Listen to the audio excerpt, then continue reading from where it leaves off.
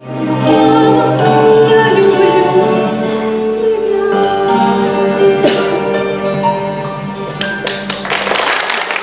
Малыши со сцены Духовно-просветительского центра «Кириллица» поздравили всех женщин с предстоящим Днем Матери.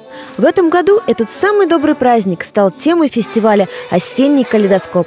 Дарья Шевырина и ее очаровательные двойняшки впервые вместе вышли на сцену. По словам мамы, концерт получился очень добрым и тронул зрителей до глубины души. Стал настоящим подарком для всех мам.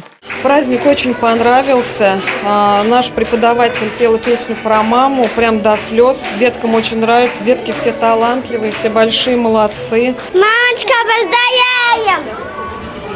Неделя в конце октября для жюри конкурса «Осенний калейдоскоп» выдалась очень напряженная.